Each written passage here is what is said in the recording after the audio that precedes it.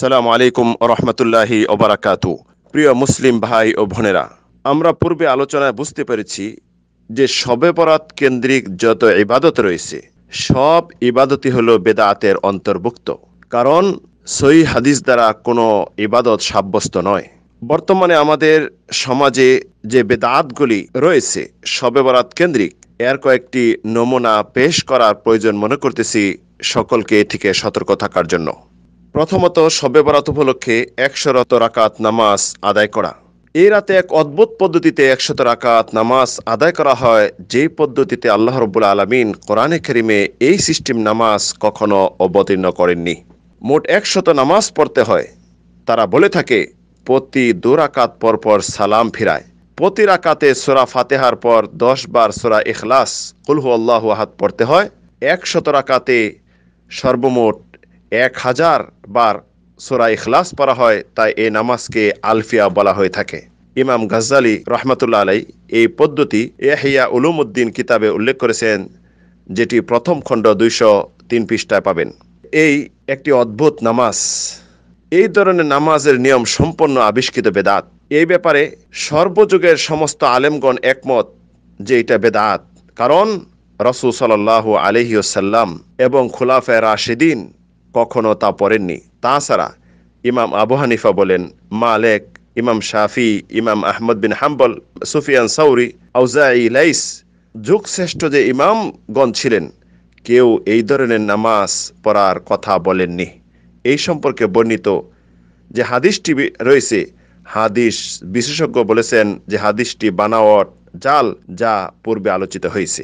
তাহলে এই নামাজ কে কখন কীভাবে চালু করল? ইমাম তারতসি রাহিমাহুল্লাহ বলেন সাবান মাসের পনেরো তারিখে রাতে একশত রাকাত নামাজ পড়ার পদ্ধতি সর্বপ্রথম যে ব্যক্তি চালু করেন তার নাম হল ইবনু আবুল হামরা। তিনি ছিলেন ফিলিস্তিনের নাবলুশ্বরের অধিবাসী। তিনি চারশো আটচল্লিশ সনে বাইতুল মাকদেসে আসেন এবং তার তেলাওয়াত খুব সুন্দর ছিল।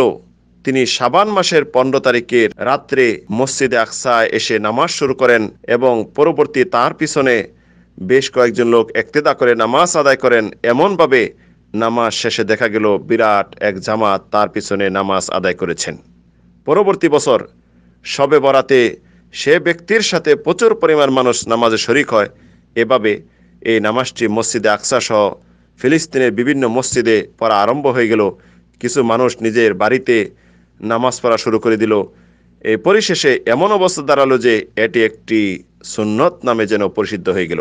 যেটি আত্মার তুষি রাহিমহল্লা রচিত আত্মাহাদির মিনাল বিদা কিতাবের পৃষ্ঠা একশো একুশ এবং একশো বাইশে এই সমস্ত ঘটনাটি পাবেন। পরবর্তী যেটি বেদাত হয় এই রাতে কোরআন অবতীর্ণ হওয়া এই সমস্ত কথা বলে একটা বেদাতি কথা।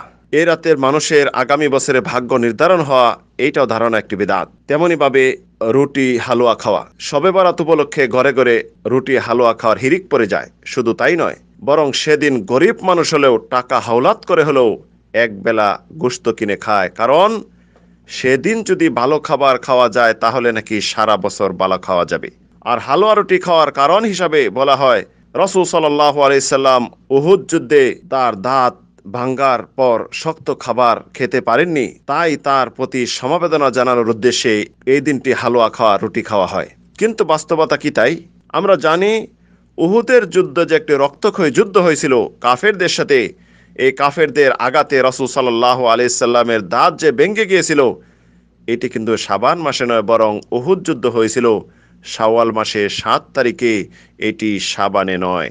তাহলে এই সমবেদনার পরের মাসকে দুই মাস পরেরটাকে পূর্বে টেনে নিয়ে আসে একদিন রুটি খাওয়া কি নবী প্রেম, নবী ভালোবাসা? কখনো হতে পারে না। এমনইভাবে তিনি নরম খাবার কি একদিন খেয়েছিলেন? তাহলে এ কেমন ভালোবাসা?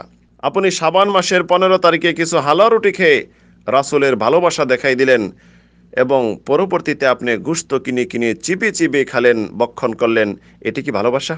রসুল সাল্লাহ আলাইসাল্লাম তো কাফেরদের সাথে এক কঠিন রক্তক্ষয়ী যুদ্ধে বীরের মতো যুদ্ধ করে তার পবিত্র দাঁত হারিয়েছেন।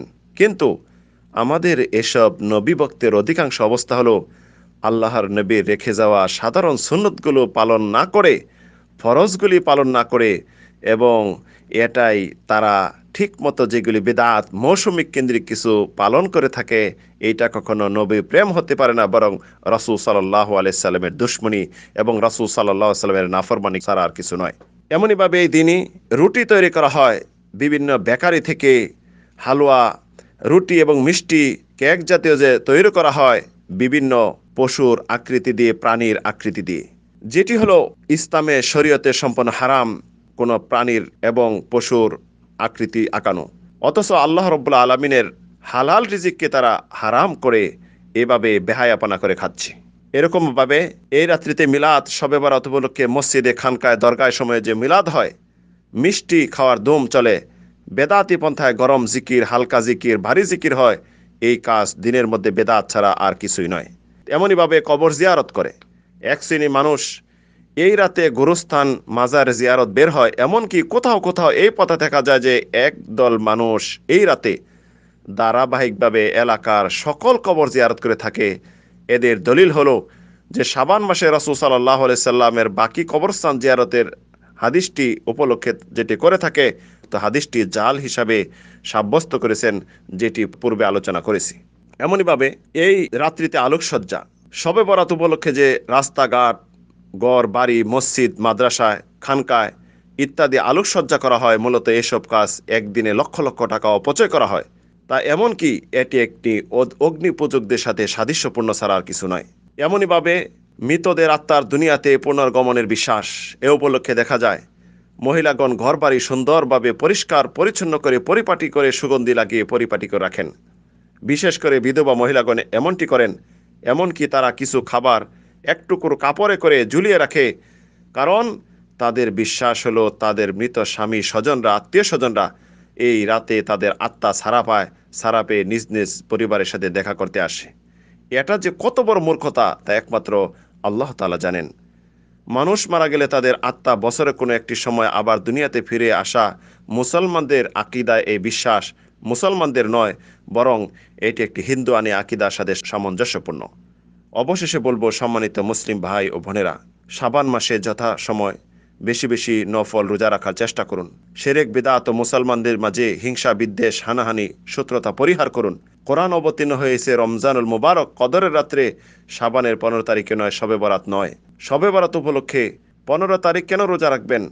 কেন রাত জাগবেন? কেন মিলাদ করবেন? বরং বেশি বেশি রোজা রাখুন, রোজা একমাত্র রসুল সাল্লাহ সাল্লাম পদ্ধতিতে রাখুন। সমাজে প্রচলিত কিছু বিধান সম্পর্কে আলোচনা করুন। আমাদের মাঝে প্রয়োজন সকল প্রমাণ নাদি অনুষ্ঠানাদি বর্জন করা এবং সঠিক দিনের দিকে ফিরে আসা, এই বিষয়ে আপনারা আলোচনা করুন, সমাজে প্রচার করুন, প্রসার করুন, মানুষকে সতর্ক করুন। আল্লাহ তালা আমাদের সকল বিদাত ও গুমরাহি পথ থেকে বেঁচে থাকার তৌফিক দান করুন, এ থেকে হেফাজত করুন। আমিন। আল্লাহ আমিন।